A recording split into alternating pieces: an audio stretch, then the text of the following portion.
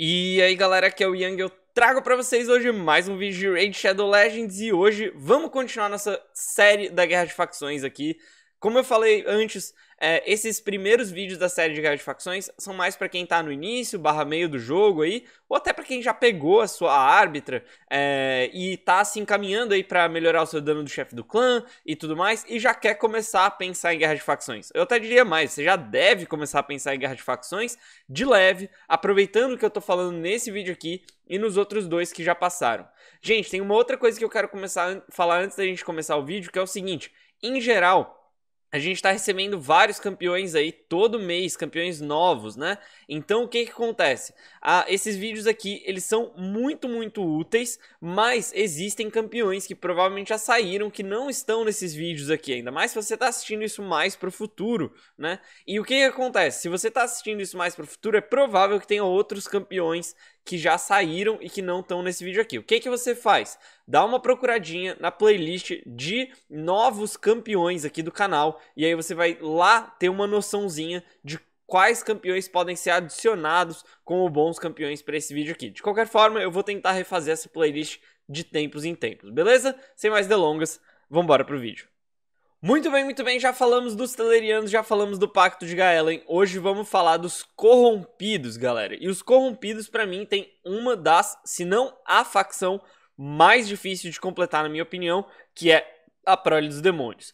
Na minha opinião, por que a Prole dos Demônios é a mais difícil? Porque tem algumas, alguns pontos-chave para você fazer para a Guerra de Facção do Prole dos Demônios e se você não tem esses campeões-chave, fica muito, muito complicado. Bom, vamos lá. Para os lendários aqui, basicamente todos os lendários são úteis de alguma forma. Kaimar é sensacional. É, dormir na habilidade 2 dele é muito, muito forte. Tanto para onda de Valkyrias lá na fase 21. É, essa habilidade aqui de reiniciar o tempo de espera das, de todas as habilidades aliadas é muito, muito boa.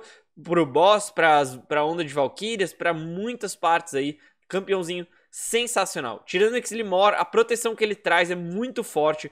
Queima de vida é uma das melhores formas de você matar as waves em qualquer conteúdo do jogo, mas principalmente essas waves que têm muita, muita vida, né? Essas waves mais duras aí, queima de vida é muito bom. E realmente a proteção que o Tirano traz pro time é sensacional. Fora que ele é um campeão fácil de manter vivo, então muito, muito forte. Com Decelix também, muito bacana. Esse bloquear habilidade de tempo de espera nas ondas de Valkyria é incrível, certo? É, e ela ainda tem, ela ainda diminui o tempo de espera de todas as habilidades em um turno, muito bom. Diminui velocidade em todo mundo, muito, muito forte aí. Isso daqui pareado com outro campeão que a gente já vai falar daqui a pouco, é sensacional, ela é bem bacana também. Drexter também, bem bacana, tem provocar na habilidade 2, queima de vida, é, quando ele for atacado, queima de vida na habilidade 1, ele se mantém vivo fácil e ele tem uma aura muito, muito boa.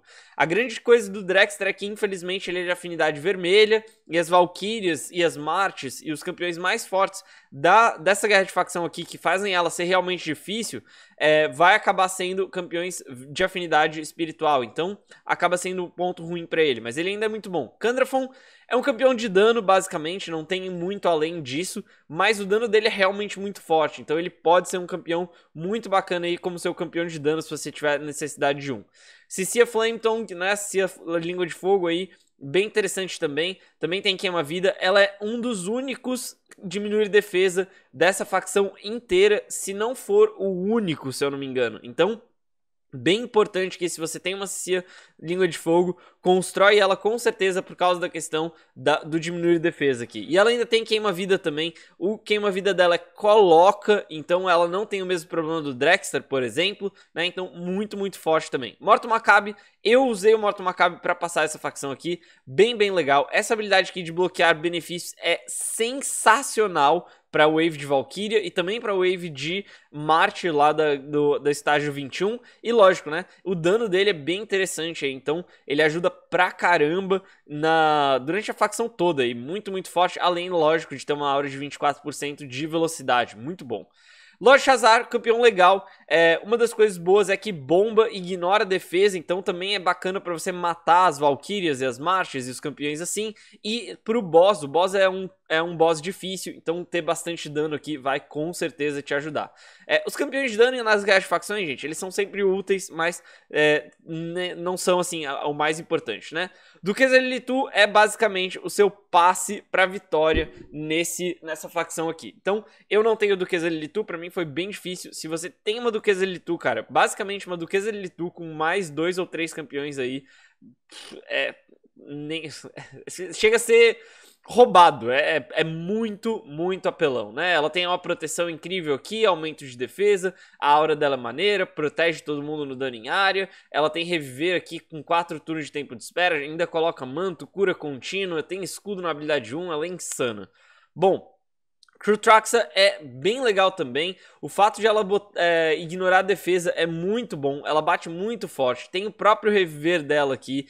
E com a habilidade de 2, ela tem uma chance de remover dois benefícios aleatórios do alvo. Então você pode remover os escudos das Valkyrias e outros benefícios chatos aí. Então bem interessante. O Initri Blood Twin, ele é um campeão de dano basicamente. Não tem muito mais o que falar. O dano dele é legalzinho, mas nada de incrível aí, certo? Bom, vamos para os épicos aqui então. Nos épicos, gente, eu vou também chamar aqui só os que me chamam mais atenção. A Luri é muito, muito forte para estratégias em que você vai controlar o medidor de turnos dos inimigos. A gente vai falar disso quando a gente falar das estratégias, tá? Mas ela é muito, muito forte. Ela é outro campeão que tem diminuído de defesa, mas é da versão pequena e não é a chance é baixa, né? Então, mas ainda assim, ela é um campeão sensacional aí, beleza? Outro campeão que chama minha atenção aqui é a Torturadora, não só porque ela dá um bom dano, mas porque ela também tem essa habilidade aqui que Enquanto estiver atacando sem um benefício de manto, esvazia completamente o medidor de turnos do alvo e preenche o medidor de turnos desse campeão com a quantidade que o alvo perder. Então essa habilidade aqui é muito forte para você controlar o medidor de turnos do boss.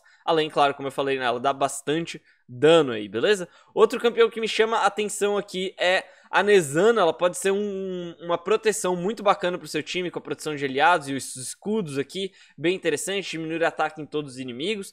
É, e a gente tem aqui também Baronesa Infernal, também é legal, porque ataca todos os inimigos na habilidade 1, tem uma curazinha com a habilidade 1 dela aqui, e ela ela, ela no set de atordoamento aí pode ser bem interessante, além de que ela tem a habilidade 2 que também ataca todos os inimigos, coloca diminuir ataque, bem, bem maneiro. Agora vamos falar um pouquinho da Tenix Hate Flower. Tenix Hate Flower é um campeão gratuito que você recebe aí simplesmente por fazer o seu login e ela é um campeão muito ruim. Porém, para guerra de facção, ela pode ser essencial aí. Eu, infelizmente, usei minha Tenix Hate Flower de food e passei muito trabalho porque eu tinha usado ela de food. Por que ela pode ser essencial? Porque na habilidade 1 ela ataca duas vezes aleatoriamente, cura todos os aliados com 3% da vida desse campeão a cada acerto em alvos que estiverem com malefício de diminuir velocidade.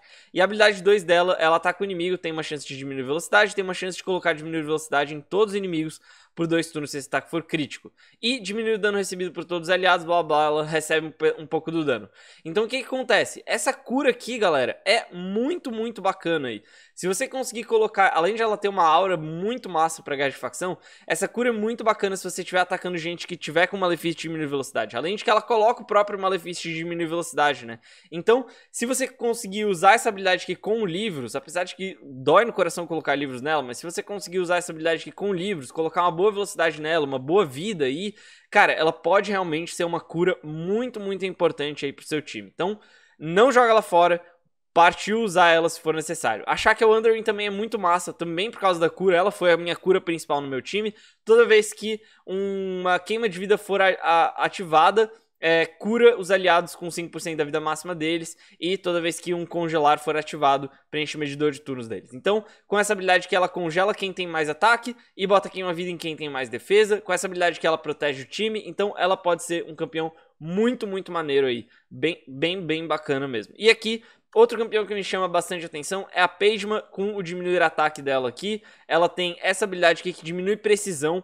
Isso aqui é bem interessante lá para as guerras de facção também, principalmente para a questão ali. Uh, bom, basicamente você faz os inimigos errarem os seus os, os ataques deles, né? O que é bem bacana. E ela tem essa habilidade que remove todos os benefícios do alvo e coloca nesse campeão. Então ela uh, rouba os benefícios aí bem, bem massa. A gente tem aqui então a Feiticeira Umbral, Feiticeira Umbral também é sensacional, também coloca bloquear benefícios por 3 turnos, ela pode provocar todos os inimigos. E aqui na habilidade 1 ela dá um daninho legal. Eu usei a Feiticeira Umbral na minha guerra de facção, então muito, muito forte a Feiticeira Umbral aí. Skin Fuso Consumido é um campeão novo na data de, de lançamento desse vídeo. E ele pode ser bem interessante, apesar de ele ser um campeão difícil de manter vivo, ele pode ser bem interessante para várias coisas, diminuir velocidade, ele tem essa habilidade aqui que diminui ataque, ele rouba os malefícios dos aliados e ele joga os malefícios dele num inimigo. Então pode ser útil pro boss ou até mesmo para as waves de Valkyrie aí, bem bem interessante.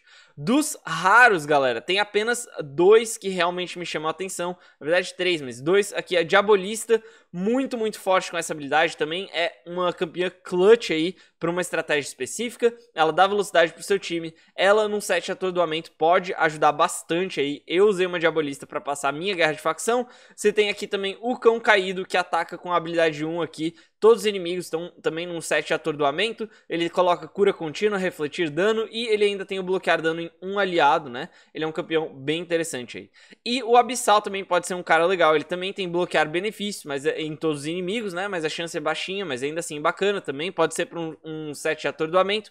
Cura todos os aliados bacana, ok aí. E ele tem essa habilidade que coloca aumento de defesa e aumento de ataque em todos os aliados. Bem interessante. Então, outro campeão aí legalzinho. Eu já tenho, já tenho certeza que esse vídeo aqui vai ser maior, porque a gente tem as maiores facções aqui dentro dos corrompidos, né? Vamos lá, para os a Hora dos Mortos-Vivos aqui, lendários, de novo, a maioria dos lendários geralmente ajuda, né, galera? Rotos é sensacional, muito, muito forte para toda a guerra de facção. Provavelmente se você tem um Rotos, ele vai te carregar aí até a fase 15, 16, meio que sozinho aí. É, Saito é ok, Quebra de defesa na habilidade 1, tem um bom dano em área e é um campeão interessante para dano, nada muito além disso. Elegaios, na minha opinião, é essencial para essa guerra de facção aqui. Essencial não, mas ele é muito, muito forte. Ela, ela, né? É muito, muito forte. É, eu usei Elegaios aqui, principalmente para as waves, por exemplo, de Valkyria e de Mártir. Você usa essa habilidade aqui numa Valkyria ou numa Mártir e você bloqueia as habilidades, né? Coloca as habilidades delas em tempo de espera e isso vai fazer com que você consiga, se você tiver livros, ou até se você não tiver livro, se você tiver Legaios mais rapidinho, você consegue usar e usar e usar e usar, e você bloqueia o uso das habilidades mais fortes do jogo aí nesses campeões que você vai enfrentar na guerra de facção, certo? Os cartórios podem ser interessante, ele tem ataque a todos os inimigos, 7 de atordoamento nele, ele tem um cleanse na habilidade 2, cura, benefícios bacanas aí, pode ser um campeão bem interessante também. Bedel Casar sensacional, né, galera? Eu não tinha o Bedel Casar quando eu completei essa facção, mas ele simplesmente vai carregar o seu time aí também, muito, muito forte. Enquanto Radro de Sangue é basicamente um campeão de dano aí. Como ele é um campeão vermelho, ele coloca uma habilidade do alvo em tempo de espera. No caso de Mártir, isso não funciona muito, mas para as Valkyrias pode funcionar. Então ele é um campeão ok, eu não diria que é nada muito forte. Machaled, também outro campeão que vai te carregar muito aqui por essa facção. Todo o controle que ele traz, o absorver para o boss, muito, muito forte. É, o Nestro também é muito massa. Ele, com o controle de medidor de turnos, os atordoamentos dele aqui, tudo fica muito, muito mais fácil, né? Suzareno Caton, na minha opinião, é blé, a gente vai pular ele, porque na minha opinião ele não é lá grande coisa. Jack da Colheita, muito massa por causa do controle dele também, muito, muito forte. Sif, passe, free para você terminar essa facção aqui. Se você tem ela, bom, ela vai... Basicamente, se você tem ela, é muito fácil você completar essa facção aqui. E o Necrit também é um campeão sensacional aí para proteger o seu time muito, muito forte, certo? É, eu não tô falando desses campeões da Torre da Perdição, gente, porque se vocês têm, provavelmente vocês já completaram as guerras de facção aí, certo? A senhorita N, na minha opinião, não vale a pena. Ela é uma campeã simplesmente de dano single target aí, e, bom, é isso. Pros épicos aqui, a gente tem alguns que chamam a atenção. Gorgorab é sensacional, como eu já falei várias vezes, todos os reviver são muito bons, né, galera? Muito forte aí. Buscador também é muito bom, não só por causa da, do aumento de ataque dele, do medidor de turnos, mas por causa do provocar dele, que é muito forte, e por causa da passiva dele, que bota aumento de defesa e cura o próprio buscador aqui, certo? Daqui também, lógico, se você quer um dano nos épicos aqui, a Reino das Sombras pode te ajudar com isso. O Casca tem um atordoamento que pode ser interessante, nada de muito, muito forte. A gente tem daí aqui Mago do Mausoléu, ele é muito bom até a última fase, na última fase ele não presta, não vale a pena usar ele. Eu passei quando eu tirei ele do time, então não vale a pena, mas até lá ele é muito, muito forte, certo? Um, o Vogot é incrível também para essa facção aqui irritar em área, diminuir ataque, uh, absorver, aumenta o malefício, cura o time, muito, muito apelão. Baltus é ok, ele tem um controlezinho com o irritar dele também, diminui taxa de crítico, bem interessante, e o Anax é simplesmente um dano. Dentre os campeões raros aqui, a gente tem até alguns que fazem um sentido legal aqui. Grito da Desgraça é bem interessante, aumento de medidor de turnos e aumento de defesa aqui, vai ajudar pra caramba o seu time, com certeza. E aqui o Sedutor também vai te ajudar muito com todos os, todo o suporte que ele traz aqui, certo? Mas um outro campeão que eu quero chamar a atenção aqui é a Besta Costurada, galera. Então se você tem, vai guardando aí duas ou três Bestas Costuradas, que a gente vai falar de uma estratégia muito específica e bem roubada para você passar essa facção aqui no nível 21 com a Besta Costurada por causa dessa habilidade de diminuir o medidor de turnos do alvo em 100%, certo? Bom, para os mortos-vivos é isso. Vamos para os Elfos Sombrios, que também é uma facção gigantesca aqui. Ray, sensacional, muito, muito forte. Tá? Com tudo que ela faz aí, diminuir a defesa na A1, é, congelar na, na habilidade 3, bate forte pra caramba, coloca lá um 7 de atordoamento se você quiser, um 7 de dano aí, várias coisas. Lanax é ok, vai te ajudar no dano. A gente tem o Foley também, mesma coisa, vai te ajudar pra caramba no dano. Eu usei o meu pra passar essa facção aqui, simplesmente por causa do dano dele aí. Zavia também, muito por causa do dano, e o dano da Zavia é insano nessa facção. O Vizir Ovelis não é lá grande coisa, mas se você tem, provavelmente você vai acabar usando, não só por causa do dano, mas principalmente, eu diria, por causa da propagação de malefícios aqui, e por causa da habilidade 2 dele, que bloqueia benefício, diminui ataque e coloca redução de cura, que pode ser interessante aí. Astrolith não vale a pena. Rainha Eva, dano de novo, né, galera? Não tem muito aí além disso para ela. É, Nascido Fantasma pode ser um campeão muito massa. Redução de cura, é, diminui velocidade, aumento de ataque pro time. É bem interessante aí. Vidente Cega é passe free para terminar essa facção aqui, galera. Muito, muito apelão. Colo é, diminui o medidor de turnos aqui na A1. Bloquear malefício de escudo e cura na A2. E aqui na A3, revive todos os aliados, bloquear dano. Muito, muito forte essa habilidade aqui. E a Lydia, lógico, né? Se você tem, você não precisa assistir esses vídeos aqui. A V6 pode ser razoavelmente ok nessa pra guerra de facções, mas ainda assim, na minha opinião, não vale a pena construir ela só pra isso, tá? Aqui entre os épicos, vamos lá. Capitã Tamila, ok, por causa do suporte aqui, produção de aliados, aumento de defesa, uma cura interessante. Kaiden é MVP para essa guerra de facções aqui. Revive dois aliados aleatórios com 50% da vida. Muito, muito forte. Quebra de ataque, irritar, muito, muito apelão o Kaiden aqui para essa facção. Uh, a Elmo Vermelho pode ser interessante também, diminuir ataque na A1, irritar na A2, com bloquear dano nela mesma e reviver ao morrer aqui. Muito, muito bacana também, bem interessante. Lua é um bom dano para essa facção e ela também tem diminuir o medidor de turnos do alvo em 100%, ignora escudo e bloquear dano, que é bem interessante aí. Sylar é também outro MVP dessa facção aqui. Coloca ela um set de atordoamento bem rápida, com bastante precisão. Ela vai destruir qualquer onda de inimigos aí e controlar medidor de turnos de boss ainda. E a aura dela de 22% para guerra de facções de velocidade muito forte. Claro, Madame Cerise também é MVP aqui, né? Muito, muito apelona, beleza? Para os raros aqui, Provavelmente você começou com Kael, se começou, ótimo, pode trazer ele também, ele é bem forte. A Coração Gelado é ok, eu diria que ela não é sensacional para gás de facções, ela é ok, ela é difícil de manter viva e tudo mais, mas se você tem, você pode usar com certeza. E Guardiã da Dor também é muito, muito interessante. A minha eu usei no set de atordoamento por causa dessa habilidade aqui. E essa habilidade aqui também é bem, bem interessante aí. Ela traz uma cura muito, muito forte pro time. O resto dos campeões uh, raros aqui, eu já diria que não vale a pena, assim como o resto dos campeões épicos aqui, na minha opinião. Bom, na verdade, o Clérigo Caçador pode ser interessante aqui. Então, ele tem essa habilidade de transferir malefícios, ele tem esse, esse rever aqui, mas, assim... Nada de sensacional, beleza? Vamos pro último aqui, os Cavaleiros Fantasma, que esse vídeo já ficou enorme. Narma é bem, bem interessante aí. Cavaleiro Fantasma também é uma das facções mais difíceis do jogo. É, na minha opinião, entre as três facções mais difíceis do jogo, tem duas que estão nessa facção aqui, certo? É, Cavaleiros Fantasma também é muito, muito difícil. A habilidade 1 dela é meio inútil na guerra de facção. A habilidade 2 dela é interessante e a habilidade 3 dela é ok também. O legal é que ela se cura, né? Então ela pode ser interessante aí pra guerra de facção, sim. Bystopus, na minha opinião, não, não é lá grande coisa, por mais que ele tenha bloquear habilidade. É, por mais que ele tenha bloquear habilidade de tempo espera na habilidade 3 dele, eu não acho que ele seja muito útil, porque ele é muito difícil de manter vivo. Mas ele é ok. Loja da Tumba, que é MVP dessa facção, diminuir ataque e diminuir defesa na habilidade 3. É, venenos aqui e diminuir velocidade. Ele é muito, muito forte para essa guerra de facção aqui, sem dúvida. O Sem Alma também pode ser bem interessante. Atordoar na habilidade 1, irritar na habilidade 2 e irritar com escudo na habilidade 3. É bem, bem bacana, além de ele trazer uma aura de 44% de defesa para criptas de facção. Muito, muito massa. O Urlin eu usei e assim, ele é ok pro boss ele é horrível. É, é, ele é assim, na, na Wave 1 da fase 25, 21, ele é bom. Na Wave 2 ele é horrível e na, no boss ele é ok, certo? Então se você tem um Urling, eu diria que testa ele, mas ele não é assim sensacional, certo? Vamos lá. Então, aqui Monsters Form também é bem, bem interessante. Ele foi uma das chaves para eu passar. Lógico, se você tem um Monsters Form, é muito provável que você evoluiu ele. Se você não evoluiu, corre evoluir, que ele é muito forte para tudo no jogo. É, Sineisha é sensacional também.